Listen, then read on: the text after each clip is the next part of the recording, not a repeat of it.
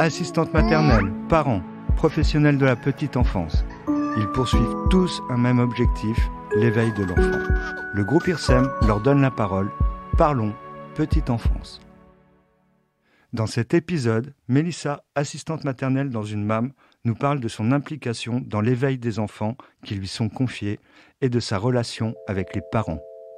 Un accompagnement éducatif bien plus que de l'éducation.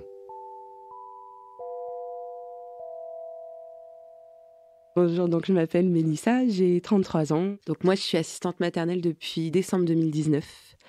Et avant ça, j'étais auxiliaire de puriculture de formation euh, dans un établissement accueillant des enfants placés sur décision de justice. Chaque enfant a sa personnalité.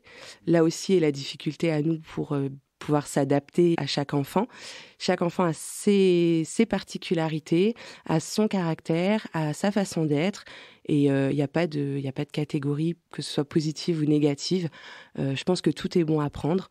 Et voilà, à nous de, faire en sorte de s'adapter. Euh. On accueille un enfant, on n'accueille pas quelqu'un qui bouge beaucoup, on n'accueille pas quelqu'un qui est très timide, on n'accueille pas, on accueille un enfant avec toutes ses facultés, avec toute sa personnalité et, quelle qu'elle soit, on a tous des côtés plus positifs que d'autres, plus euh, l'enfant aussi. Et justement, c'est avec ses, facultés à lui et ses capacités à lui et son caractère que euh, on va l'élever d'une façon différente que son voisin qui aura, aura d'autres.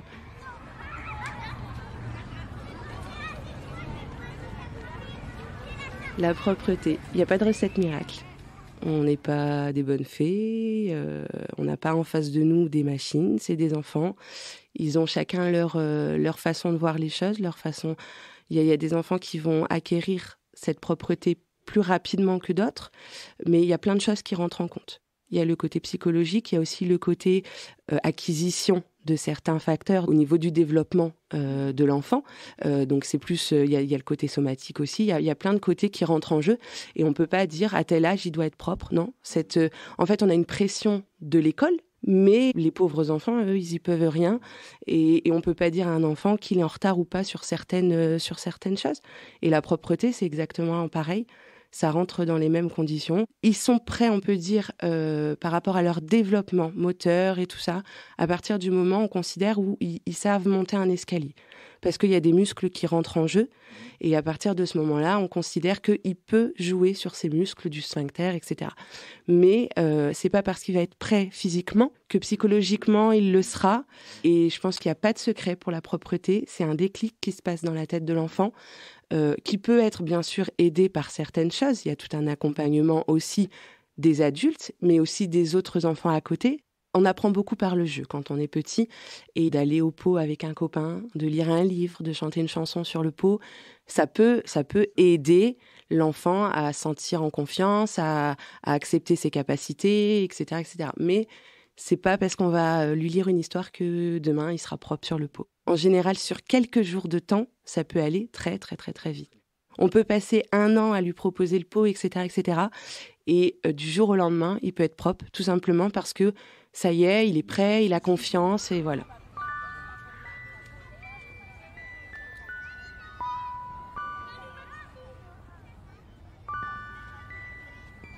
L'école crée une pression sur le parent parce qu'ils n'acceptent pas forcément si l'enfant n'est pas propre. Et du coup, le parent renvoie cette pression sur l'enfant. Et je pense que ce côté-là, au contraire, va pas aider l'enfant. Il faut y aller de façon très détendue. Et puis, euh, vraiment, en quelques jours, ça peut, être, euh, ça peut être fait quand il est prêt. Il y a la découverte du goût, de nouvelles saveurs, mais aussi la découverte de la texture. Et c'est pour ça que beaucoup d'enfants passent par cette phase où je mange avec les doigts. C'est pas de la, de la saleté, tout petit, ça passe par le toucher et par le goût, euh, justement, le côté on met à la bouche. Et l'alimentation, c'est aussi ça. Donc, on touche, c'est des nouvelles textures qui sont pas habituelles. On a l'habitude de mettre que les jouets à la bouche. Là, on met des choses qui sont, voilà, il faut qu'on avale, faut qu'on. Donc, euh, faut commencer pareil de façon très progressive. Avec le côté professionnel de l'assistante maternelle, ça se fait toujours en relation avec le parent. C'est pas l'assistante maternelle qui doit introduire le parent fait un travail avant, parce que l'enfant et le parent, ils ont un lien quand même qui est, très particulier. Il y a cette confiance qui s'instaurera plus facilement, et nous, on prend un relais Si dans la famille on fait ça de façon naturelle, qu'à la même on continue à faire ce travail, il n'y a pas de raison. Il faut laisser à l'enfant le temps de la découverte. C'est plus de l'accompagnement éducatif que de l'éducation. Il y a une petite différence à faire. L'éducation, c'est le parent, et nous, on accompagne l'éducation et la progression de l'enfant. Euh, forcément, avec euh, la vie actuelle, en fin de compte, il y a diverses façons de manger, entre guillemets. Euh, donc forcément, nous, notre but, c'est pas d'aller à l'encontre des parents. Il faut que la fluidité soit la plus naturelle possible. Si l'enfant a pour habitude de ne pas manger de viande, par exemple, c'est pas à nous de lui en donner, enfin certainement pas quoi. C'est les régimes alimentaires au final, euh, que ce soit pour des raisons médicales ou pour des raisons de croyance ou pour des raisons, enfin quelles qu'elles soient, et on est obligé entre guillemets de respecter cela tant que ça va dans l'intérêt de l'enfant et que ça ne porte pas préjudice à l'état de santé de l'enfant. Nous à la MAM, on a fait le choix de laisser le parent apporter le repas de son enfant pour un peu toutes ces questions-là en fait. C'est la cuisine, c'est beaucoup de temps aussi. Donc on travaille quand même sur l'alimentation dans le sens où on peut faire des activités cuisine au sein de la MAM, mais le repas de l'enfant, on demande à ce que ce soit les parents qui l'amènent. On a ce devoir aussi de, pouvoir accompagner le parent pour le bien-être de l'enfant en fait. On ne peut pas euh, faire tout et n'importe quoi entre guillemets.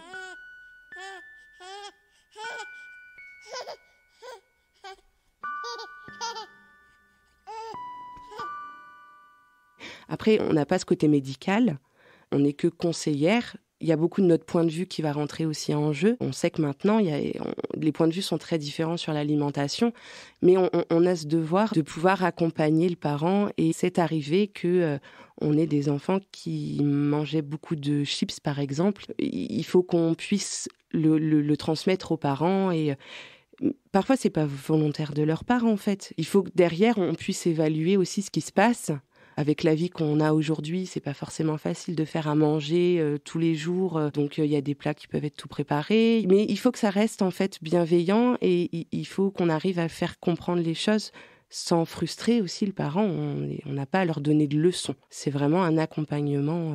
De même, ils vont nous, nous questionner, nous demander conseil, surtout quand c'est les premières fois. Au final, l'alimentation est aussi une première fois. Donc des fois, on ne sait pas trop comment s'y prendre. On sait qu'en tant que parent, on peut des fois être un peu euh, trop en faire ou pas assez ou voilà et c'est difficile de trouver la bonne la bonne mesure. Bien souvent en discutant euh, le soir par exemple à la relève où on fait nos transmissions les parents profitent justement pour euh, pour poser quelques questions pour avoir d'autres avis aussi parce qu'il y a la vie de la famille il y a son avis perso mais il y a aussi de la vie professionnelle du coup.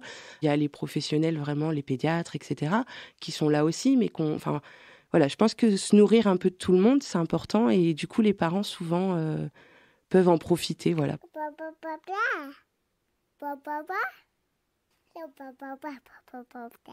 C'est quoi un enfant turbulent? Un enfant a besoin de bouger. Il y a des enfants qui vont avoir besoin de bouger plus que d'autres. Il faut respecter ça. Le seul truc, c'est qu'il faut que ça se passe dans de bonnes conditions. Il faut pas qu'il se mette en danger, il faut pas que les autres soient en danger. Donc je pense qu'un enfant qui a besoin de bouger, il faut le laisser bouger. Au contraire, on va créer des frustrations à, essayer de ralentir ça. Après, il y a des moments, je pense notamment avant la sieste, il faut pas non plus que l'enfant soit survolté. Donc à nous de le laisser se dépenser s'il en a besoin. Il a peut-être quelque chose à exprimer, que c'est sa façon de le faire. Donc on va le laisser faire. Mais après, on accompagne un retour au calme pour essayer de s'apaiser, pour aller, par exemple, en sieste dans de bonnes conditions. Dans la vie, on a toujours des règles. À la MAM, il y a aussi des règles. En collectivité, il y a aussi des règles. On ne peut pas faire tout et n'importe quoi, mais tout ça, ça s'accompagne. Il y a des interdits, on ne peut pas. Mais par contre, on peut faire autre chose. Donc en fait, on essaye d'accompagner tout ça. Et évidemment, la, politesse, c'est une des premières valeurs euh, de l'être humain. Enfin, le respect, la politesse. Donc tout ça, ça s'apprend. Répéter, c'est éduquer. Chaque moment, en fait, dans l'accompagnement d'un enfant est un souvenir. Chaque enfant le vivra de façon différente. Du coup, nous, on le vivra aussi de façon différente. Et les voir évoluer, les voir euh, progresser. Pour anecdote, on a des enfants qui sont revenus donc après la, fermeture de la MAM pour les vacances d'été, qui marchaient, alors qu'avant, ils marchaient pas.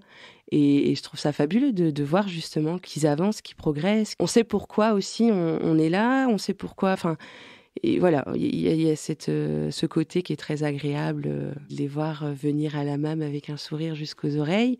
On se dit quelque part que bah, ils sont bien. Donc, on a une partie de notre tâche qui est accomplie. Les voir sourire, les voir jouer, les voir ensemble. Quand ils jouent ensemble, qu'ils ont des parties de rigolade ensemble, c'est fabuleux. On fait ce travail parce qu'on est passionné, parce que ça nous plaît. Et quand on voit la répercussion que ça peut avoir, on a envie de continuer. Je sais pas si c'est de la fierté, mais en tout cas, on a une satisfaction aussi personnelle qui, qui nous dit bah, on continue, on continue d'avancer, on continue euh, avec les enfants. voilà, Ce qui me fait sourire tous les jours, c'est cette complicité qui peut y avoir entre les enfants. C'est vrai qu'en MAM, il y, y, a quand même ce côté où l'assistante maternelle accueille un enfant et elle s'occupe les soins de la vie quotidienne, les soins importants sont faits avec son assistante maternelle parce qu'il y a aussi ce repère de sécurité affective, etc. C'est comme si on, on, chaque assistante maternelle, ça fait quatre petits groupes. Et à côté de ça, il y a aussi un grand groupe où, nous, en tant qu'asmat, on est collègues. Donc on travaille à quatre et les enfants sont copains, sont amis, et euh, que ce soit petit, grand, les deux ans, les 18 mois, les, les, trois mois, enfin, et il y a ce côté-là, collectivité, et quand on voit que il y a des liens qui se créent, il y a des enfants qui demandent à venir accueillir les autres parce qu'ils ont envie de leur dire bonjour. Quand on entend ah c'est un tel qui arrive, enfin voilà, il y a, ce côté-là aussi qui est, très que je trouve très sympa et, pour pour euh, les adultes, pour les parents aussi et euh, pour les pour les enfants entre eux aussi. Euh. Je pense que il y a la passion du métier. Il faut il faut pouvoir, on peut pas se lever le matin et dire je vais être assistante maternelle. On se lève le matin, des fois on se dit je suis maman, mais on peut pas se dire je suis assistante maternelle. Il y a cette fluidité qui doit passer. Il faut évidemment, euh, c'est un peu cliché, mais il y a la patience.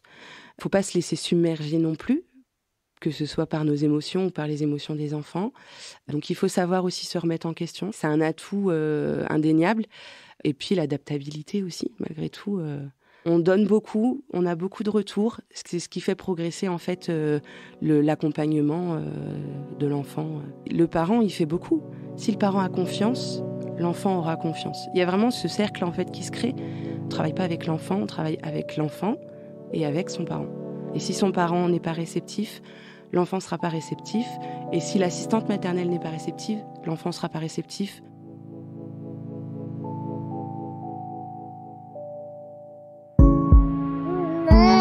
Parlons Petite Enfance, un podcast du groupe IRSEM.